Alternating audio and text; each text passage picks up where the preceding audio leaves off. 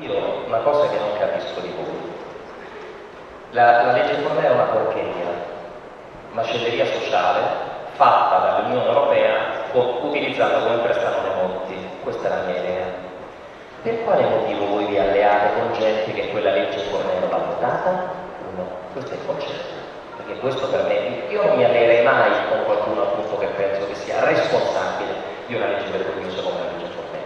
Per quanto riguarda l'euro, fermo restando che per me questa storia che i cittadini non possano scegliere, informarsi e decidere su questioni importanti è una, veramente qualcosa che io rigetto. Se ci fate caso su Brexit è successo qualcosa di incredibilmente vergognoso. Alcuni nomi, i Napolitano, che per me poi Napolitano è uno dei massimi responsabili della distruzione di questo paese, uno dei massimi responsabili dal, 53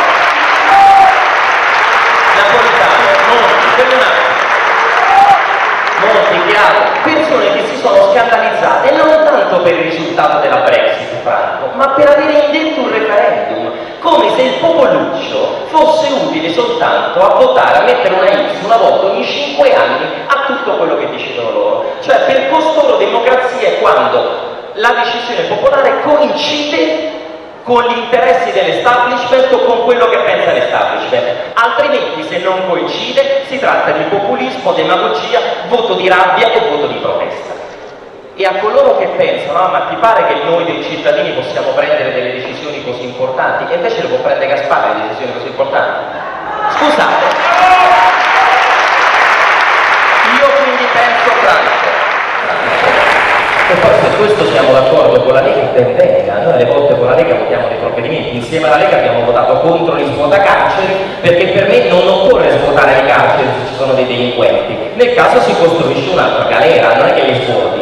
Con, con la sinistra abbiamo votato a favore della ripubblicizzazione dell'acqua pubblica perché per me l'acqua non può essere qualcosa sul quale si faccia profitto. Questo è il movimento, noi valutiamo qualsiasi proposta arriva dalla Lega o dalle altre parti e se sono utili, poi magari ci possiamo sbagliare, utili per l'interesse nazionale, le votiamo. Sull'euro, io, questa è la mia posizione, ma noi abbiamo raccolto delle firme, sono convinto che avere una moneta propria, una banca pubblica che possa stampare moneta, rappresenti appunto eh, un'arma importante in, base ai governi, in, base, eh, in mano ai governi per fare politiche fiscali valutari e monetari, cosa che non è più possibile fare da quando non c'è di fatto una banca pubblica, perché Banca d'Italia di fatto è controllata dagli istituti privati, cioè il controllore che è controllato dai controllati, e non abbiamo più una nostra moneta. Questa è la mia visione. Però un referendum, anche consultivo, c'è stato in Gran Bretagna, serve a creare un'opinione da parte di tutta l'opinione pubblica che studierà una questione nei mesi precedenti e poi prenderà una decisione, cosa che dovrebbe essere qualcosa di normale.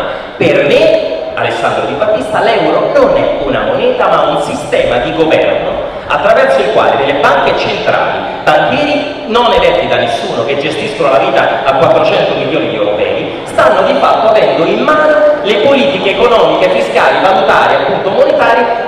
che non sono più sovrani e che continuano, nonostante i popoli richiedano maggiore eh, diciamo, disponibilità a, a, partecipare, stanno di fatto continuando a cedere all'Unione Europea centrale fette di sovranità. A me questo non mi sta bene.